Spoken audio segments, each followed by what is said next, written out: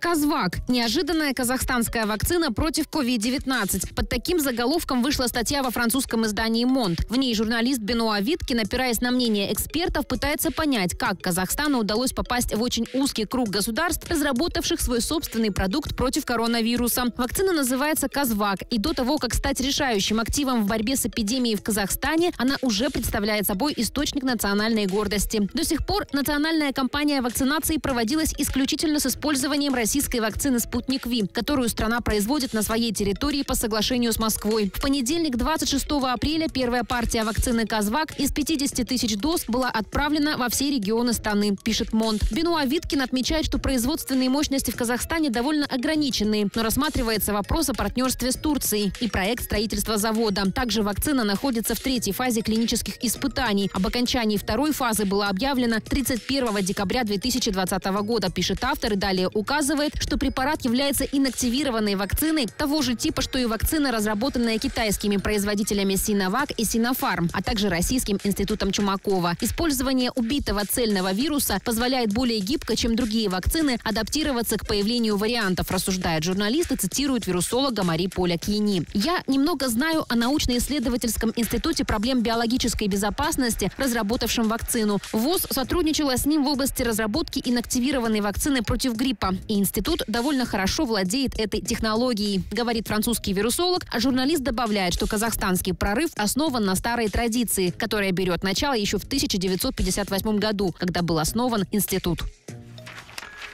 Окаменелость возрастом в миллиард лет обнаружена на Шотландском Нагорье. Ее называют решающим недостающим звеном в эволюции жизни на Земле. Доводы ученых приводит автор издания Daily Mail Джо Пингстоун. Окаменелость, найденная около озера Лох-Теридон, представляет собой организм, который сложнее одноклеточного существа, но при этом не является многоклеточным. Находка, вероятно, может пролить свет на то, как самые примитивные формы жизни превратились в фауну, которую мы видим сегодня. На данный момент окаменелость считается самым ранним известным примером организма, который содержит два разных типа клеток. Как заявил ведущий автор исследования профессор Чарльз Велман из университета Шеффилда, мы обнаружили примитивный организм, состоящий из двух типов клеток, что стало первым шагом к сложной структуре, которая никогда не описывалась ранее. Открытие этой окаменелости позволяет предположить, эволюция многоклеточных животных произошла по крайней мере миллиард лет назад, и ранние события, предшествовавшие эволюции животных, могли происходить не в океане, а в пресной воде, такой как озера, указывает профессор Велман. Из Ископаемое, получившее название Бицеллум бразиери, заполняет пробел между появлением одноклеточной жизни почти 4 миллиарда лет назад и кембрийским взрывом 600 миллионов лет назад, который ознаменовал появление огромного разнообразия. В то время уровень кислорода в атмосфере резко вырос, что привело к увеличению числа существующих видов. Время между этими событиями называют протерозойской эрой, и о ней до сих пор мало что было известно, пишет газета.